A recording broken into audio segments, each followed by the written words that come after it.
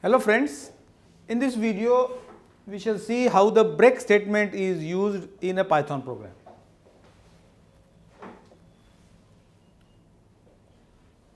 Whenever we form a loop, whether it is a while loop or a for loop, what we do, we specify the beginning point of the loop and the end point of the loop controlled by a certain variable.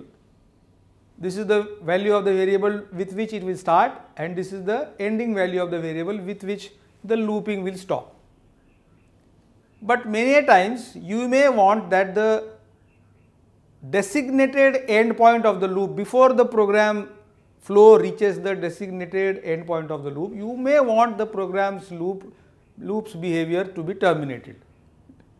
So, a premature end to the loop is if it is required then you use the break statement. For instance, in this flowchart we can see this is the loop and inside the loop there is a conditional statement. So, as soon as this conditional statement which is normally false, as soon as the conditional statement becomes true, the control of the program goes out of the loop. The rest of the iterations, pending iterations will be discarded. So, this is how the break statement controls the behavior of the loop. I will demonstrate the use of this break statement with the help of an example now. Now, break is one of the looping control statements in Python. Whenever we construct a loop, it may be using for or while. There is a certain predefined number of repetitions to be expected to be done by that loop. For example, when we write for letters in Python, the loop is expected to take up one character at a time till the string exhausts.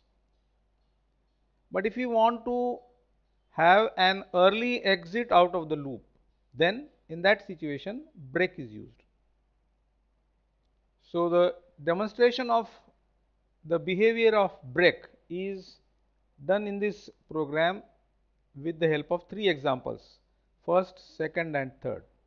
In the first example as I was telling the default or the normal behavior of the for loop would have been to take up one character at a time. But if I want to stop this loop or come out of the loop as soon as letter is equal to h is reached. So, first time the letter the value of the variable will be uh, variable letter will be pi uh, p then y then t as soon as it reaches h it encounters a statement called break. So, what will happen the remaining number of iterations in the loop will be abandoned or terminated and the program will come out of the loop and execute whichever is the next statement that is there. So, this was the body of the loop every time it was printing current letter is equal to p and etc. It breaks when it is equal to h it will proceed to the next statement. In the in the in the second example also this is a while loop instead of for while loop is there initially a variable called var is equal to 10 has been defined and the loop is expected to decrement the value of var by 1 every time and print. But I do not want to extend this loop beyond 5. So, if var is equal to 5, I ask the loop to be terminated by using break. So, expect the value to be printed from 10 to 5. In the third example, there is a list object. And the value input by the user is searched in this list in this uh, list.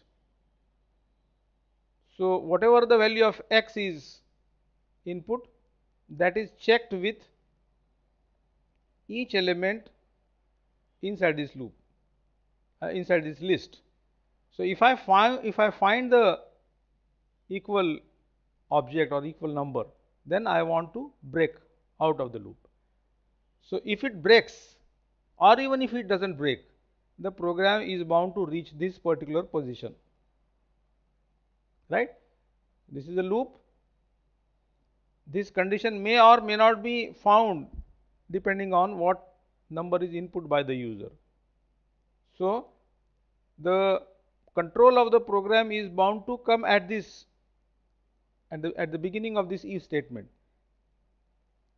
by either of the two ways either by completing the entire sequence of loops wherein this x is equal to id is never found or if the match is found there will be an early termination to the loop and the program will come here. So, in this or at this location the value of i may be less than the length of id in, in which case the number might have been found by comparison. In that case, I can very safely say that the number is found at this position.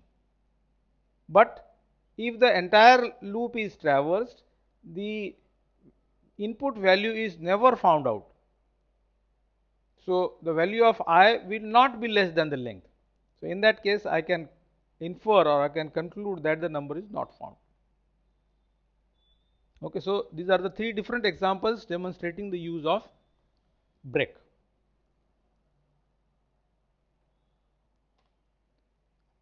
So, this is the output of the first for loop. The loop was expected to run up to PYTHON, but I have said that break out of the loop as soon as you as soon as letter equal to h is reached. So, the output is only PYT. In the second example, the decrementing values of 10, uh, the decrementing values of variable var starting with 10 are printed out and as it reaches var, var equal to 5, I want the loop to be the while loop to be terminated. So, the output is only 10, 9, 8, 7, 6. In the third case, a list is defined and the user is asked to input a number. Now, if the number is found, then it will report that it is found, otherwise it will say not found. So, in the first run what I will do, I will deliberately give a number which is going to be there in the list. So, if I input 3, so what happens? This number is successively compared with the zeroth, first, second and so on number. It finds the number, so therefore it breaks out and it prints found at the number uh, at the position 3. So, I will run this program again and try and give a number which is not present in the list.